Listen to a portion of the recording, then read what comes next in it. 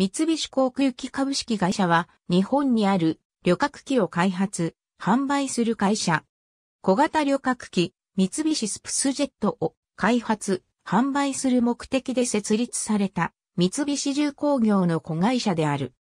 三菱航空機は三菱スプスジェットの設計、形式証明取得、調達、販売、カスタマーサポートなどを担当する企業で、試作、製造、飛行試験は三菱重工業の名古屋航空宇宙システム製作所が行う。初代社長は三菱重工業取締役執行役員の戸田信夫。設立時の従業員は約200人。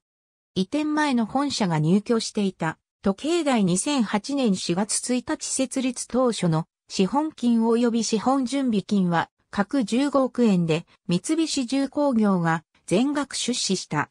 同年5月31日付で670億円の第三者割当増資を行い、資本金350億円、資本準備金350億円とする。MRJ 事業の進展に伴い、2009年4月1日に再び第三者割当増資を行い、資本金500億円、資本準備金500億円となっていた。2018年10月31日現在、ありがとうございます。